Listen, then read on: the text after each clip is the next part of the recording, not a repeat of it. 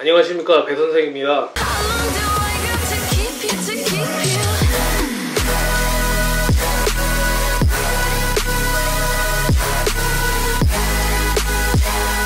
Trying so hard not to keep you, to keep you. 자 오늘도 합격작 가져왔는데요. 오늘 과는 어디죠 선생님? 어, 커뮤니케이션 디자인과 네, 오늘도 함께 하셨는데요.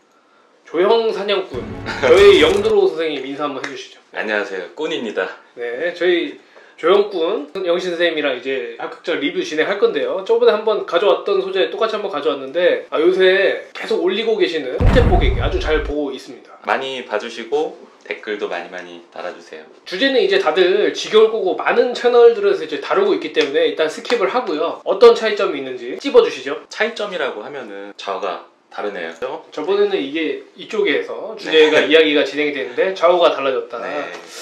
일단은 네, 그렇고요 네. 아 네, 연출 방식이 음, 좀 다른 것도 있고요 색깔에 대한 운영이 조금 다르다라는 부분이 좀 있는 것 같아요 많은 학생들이 이제 이런 거 궁금해하지 않습니까?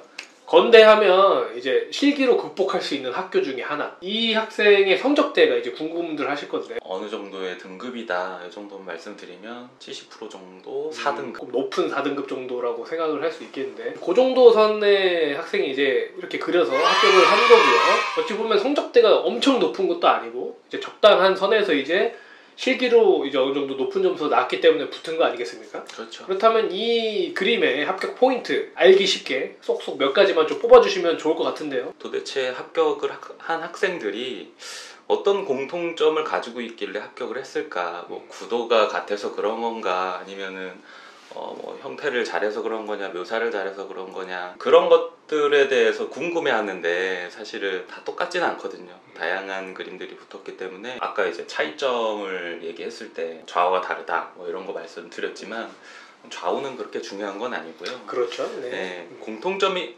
부분을 제가 말씀을 드리면 저번에 보셨던 그림은 화살표에 대한 두께 이거는 두꺼운 게 없죠.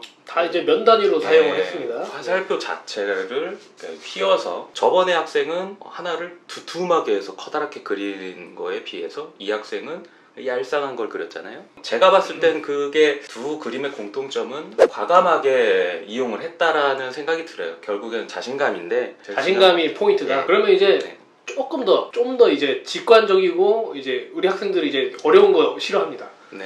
굉장히 직관적이고 아 이렇게 네, 해서 붙었다 싶은 어찌 보면 되게 짤막한 네. 예, 간결한 어떤 포인트 한 번 더 찝어주실 수 있을까요? 빨대 부분의 요, 요 부분, 어, 요 입구 부분. 네네. 어떻게 보면 빨대라는 거는 원기둥인데 네. 우리가 음료수를 마실 때 빨대를 어, 껴가지고 마시잖아요. 네. 거기서 액체가 흘러 나오고 그 아- 안에 어떤 공간이 있다는 거잖아요. 네. 그냥 빨대 두 개를 겹쳐가지고 음, 표현을 했다는 부분이 있고 두 번째로는 그 빨대가 그러니까 길쭉하다라는 생각을 많이 하잖아요. 네네.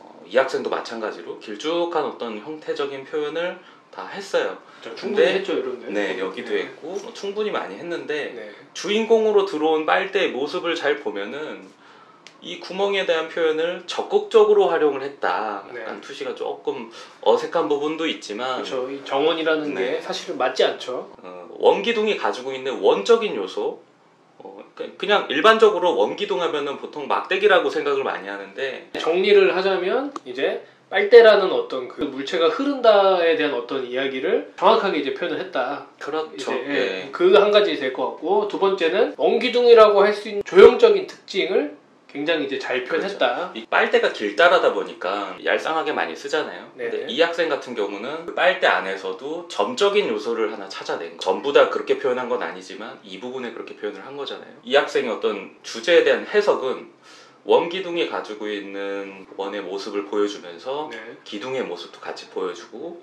그거에 대한 구조적인 해석도 했고 음. 질감적인 해석도 했고 다 했어. 안에 빨간색 빨대가 들어 있으면서 그 빨대가 가지고 있는 색상, 색상에 대한 표현도 해준 거죠. 거기에다가 그 안에서 빨 빨대 안에서 화살표가 또 나오고 있죠. 거의 이제 원기둥 네. 장인급으로 원기둥을 굉장히 이제 심오하게 해석을 하고 여러 가지의 어떤 조형적인 특징들을 다 넣었다. 네. 그 정도로 이제 간단하게 이제 정리를 할 수 있다는 거죠. 그렇죠. 아 그리고 이거는 여담인데 네네.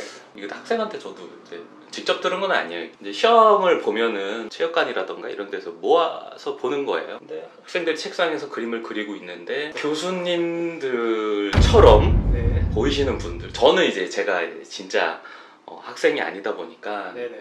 교수님들이 직접 들어오신 건지는 이제 학생들 얘기만 듣는 거라서 네. 정확하게는 몰라요. 학생들 얘기로는 그래요. 그게 감독관일 수도 있고 진짜로 교수님들일 수도 있는데 굉장히 장수생일 어. 수도 있지 않을까.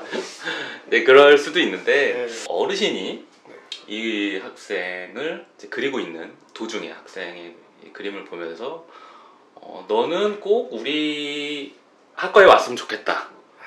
네이 이렇게 그림을 보고서 아, 이게 어, 그런 얘기를 하셨다라고 하더라고요. 그러- 카더라죠. 네네. 예, 예.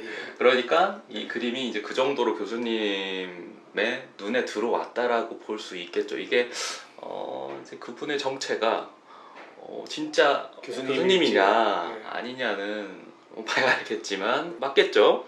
네. 이, 이 학생이 실제로 입학을 했고 네. 그렇게 했다고 합디다. 네, 네.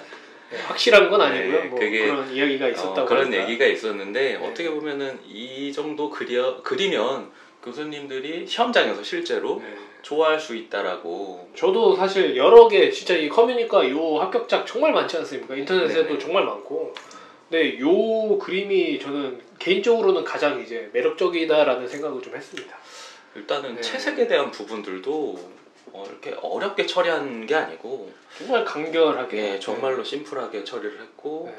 어, 면은 면답게 처리를 하고 정말 잔 기술이 단 한 가지도 없습니다. 네. 진짜 다 그냥 이거 그냥 색칠 공부하듯이 그렇죠. 쪽쪽 바르고 이런 이런 데 보면은 굉장히 별로예요. 이거 블랙으로 그냥 쭉 닦거든요. 이런 게 이제 티가 안 난다는. 평면으로 인지했다라고 음. 볼 수가 있고 그 평면의 화살표 이미지가 이 화면의 공간 안으로 들어왔을 때 음. 이 빨대하고의 어우러지는 이런 모습. 사실은 교수님들의 출제 의도는 그거였다고 생각을 해요. 화살표의 입체적인 해석도 중요하지만 어, 이게 두께를 잡고 학생들이 보통 얘기하는 덩어리. 양감. 예, 얇은 거를 출제를 했을 때 이거를 아 이거 두껍게 해야 되나. 이게 컨셉인 거죠. 음. 얇은 것들로만 이용해서 색상의 활용도도 되게 좋은 것 같아요. 그- 이렇게 노란색과 파란색 빨간색 이런 조화도 그렇고 또 삼원색 아니겠습니까? 그렇죠 삼원색 어, 제일 중요한 것 같아요 그리고 또 굉장히 매력적인 거는 근데 이 면제를 잘 살리면서 양감도 잃지 않았다는 거. 그렇죠 그두 가지를 겹쳐서 네, 굉장히 형, 이제- 형태도 잘 보이고요. 네. 화살표는 가리키는 부분인데 화살표는 이 부분이 제일 중요하잖아요.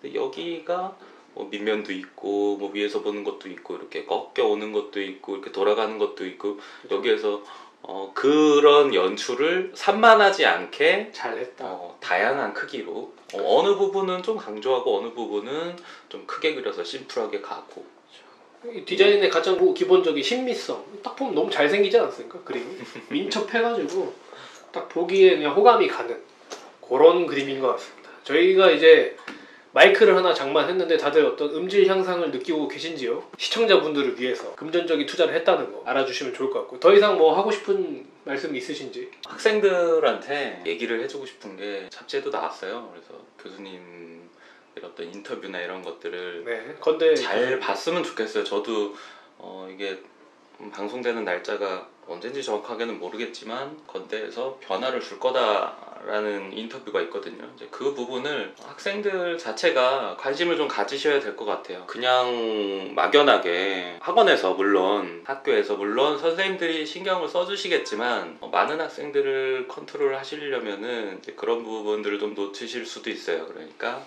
네, 여러분들이 직접 네, 입시생이니까 그런 거 찾아보는 거는 어려운 건 아니잖아요. 자 그러면은 저희는 이제 다음 콘텐츠로 찾아뵙도록 하죠. 네 그러면 저희는 이만 하도록 하겠습니다.